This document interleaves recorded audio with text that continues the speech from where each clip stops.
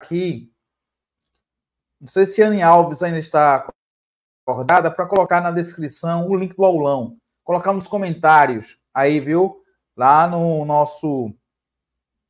Pode pagar na hora, Raíssa.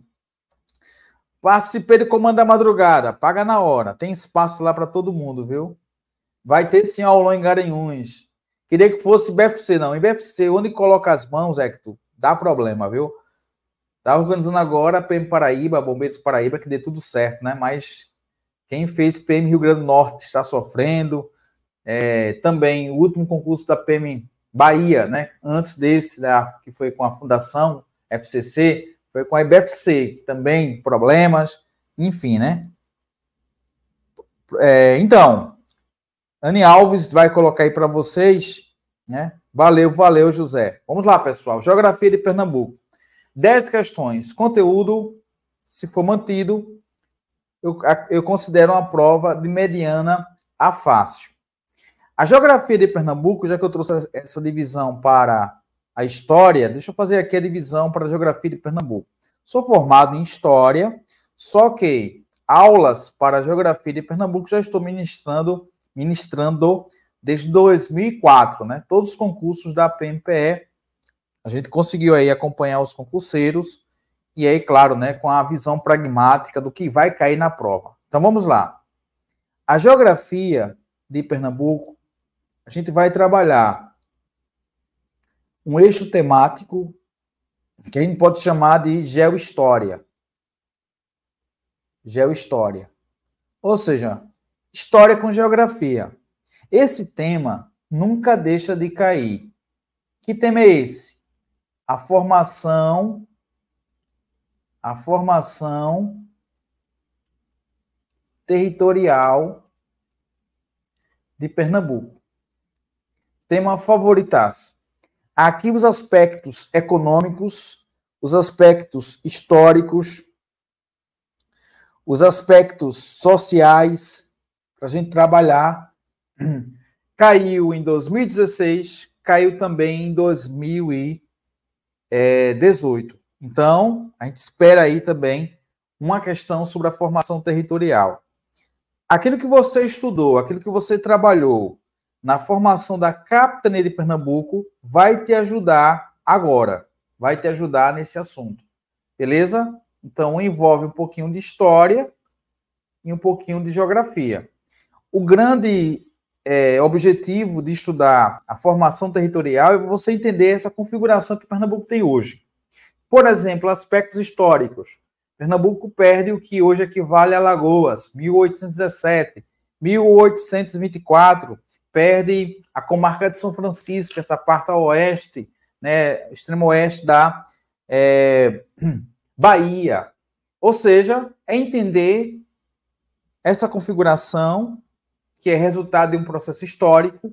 Hoje, 2023, Pernambuco com 184 municípios, mais um distrito estadual, o distrito de Fernando Noronha. Valeu, Sandrine. Abraço aí também para a Feira Nova, né? Eliel, é, e também aqui conosco, Arco Verde, com certeza.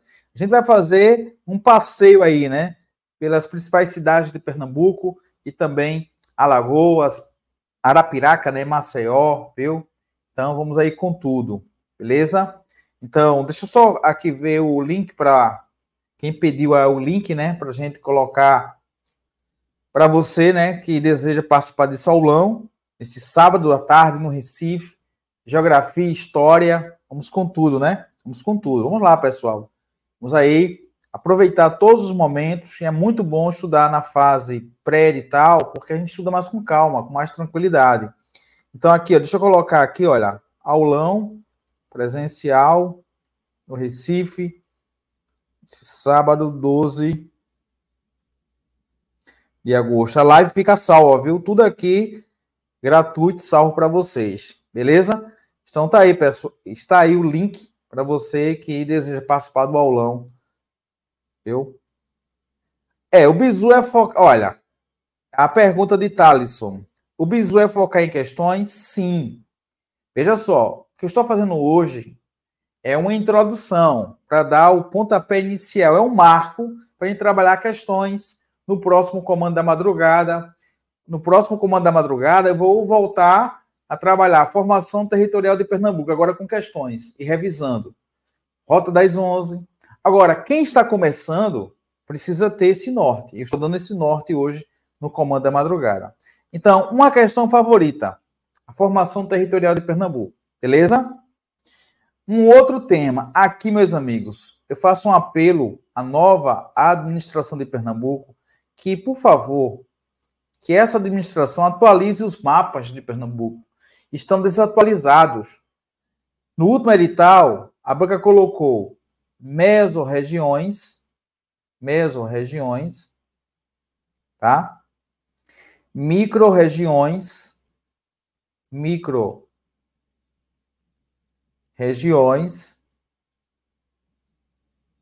e RDs, regiões de desenvolvimento. Esse assunto aqui, a gente poderia colocar essa parte da geografia, né, humana. Você estuda lá no ensino médio, professor, geografia humana. É, então, só que tem um problema aqui, pessoal. Ou geografia urbana, né? Olha, a geografia daqui, essa parte, o IBGE utilizou essa nomenclatura de mesorregiões e microrregiões, tá? Essa parte de meso e micro, o IBGE atualizou em 2017, trabalhando agora com regiões geográficas. Regiões geográficas. Geográficas intermediárias, intermediárias, tipo, Pernambuco hoje possui quatro quatro regiões geográficas intermediárias: Recife, Caruaru, é, Serra Talhada e Petrolina. E as regiões geográficas imediatas. São 18, né? Então, o que acontece? Essa atualização é de 2017. Até o momento, até o momento, até o momento, não houve atualização ainda dos mapas de Pernambuco. Então a gente espera que a nova administração faça essa reformulação e que no próximo concurso a gente já tenha, quem sabe, né, a banca e a UPE também atualizando essa parte. Beleza? Então, as regiões geográficas de Pernambuco, essa nova regionalização que ocorreu a partir de 2017. Essa divisão em mesorregiões micro-regiões, essa divisão data de 1989 e foi até 2017. Então aí se ligar, né, a nova administração para fazer essa atualização. Então, em relação à região geográfica intermediária, ou regiões geográficas intermediárias, Pernambuco possui quatro, né? Recife, Caruaru, Serra Talhada, Petrolina. Já em relação às regiões geográficas imediatas, Pernambuco possui aí, né, aí destacando justamente as regiões geográficas é, geográficas é, imediatas, né, de Recife, Goiânia, Palmares, Limoeiro, né, aí, totalizando 18 regiões geográficas imediatas. As mesorregiões, hoje, são regiões geográficas intermediárias. Já as imediatas são as micro-regiões. E as RDs são 12 regiões de desenvolvimento. Aqui já é uma divisão estadual, aí permanece. Essa, essa divisão permanece, né? As regiões de desenvolvimento em Pernambuco. E aí, claro, né, você pode acompanhar diversos vídeos que eu trouxe sobre essa divisão estadual e essa divisão federal. Então, na divisão estadual, Pernambuco, nessa regionalização, né, a gente trabalha com essas RDs, 12 RDs, né? 12 RDs, é, em relação a essa divisão federal, hoje, regiões geográficas imediatas e intermediárias, né? Tipo RD Mata Norte, RD Agreste Setentrional, RD Agreste Central, RD Pajeú, é, RD Sertão Central, RD do Araripe, tá? Então aí tem RD também metropolitana, RD Mata Sul, a RD Agreste Meridional, RD Mochotó. Então tudo isso que a gente gosta de trabalhar com vocês, a gente também vai abordar as regiões de desenvolvimento, beleza? Então é um tema tranquilo também. Regiões de desenvolvimento. Aí vem os aspectos físicos, na chamada geografia física aqui, né? Que já é parte da geografia física. Geografia física. Aí na geografia física, o pessoal tem medo, né? Clima, relevo, relevo, hidrografia, hidrografia e também vegetação. Pelo histórico, galera, pelo histórico, pelo histórico, geografia física deve aparecer no máximo duas questões. Então aqui já vamos colocar a distribuição, tá? Vou colocar no final a distribuição. Aí, veja, em relação a clima, hidrografia, vegetação, geralmente a banca coloca em uma só questão, caso seja a e a UPE, né? Aí vem a parte ambiental. É quando a banca trata sobre a questão ambiental em Pernambuco. Então, a questão ambiental em Pernambuco. Espera-se uma questão sobre esse tema, né? Importante. Aí, um outro tema favorito é urbanização em Pernambuco. Urbanização urbanização em Pernambuco. E agora com os dados atualizados, dados atualizados Censo Demográfico 2023, aí claro, a gente deve colocar população. Por isso que eu vou revisar no presencial, né, nesse aulão de sábado, eu vou revisar população. 10 reais, 10 reais, só para a gente iniciar essa jornada. População. Ah, eu vou dar destaque hoje aí a população com os, da com os dados do censo demográfico. Então, aqui deixa eu só destacar os principais temas, né?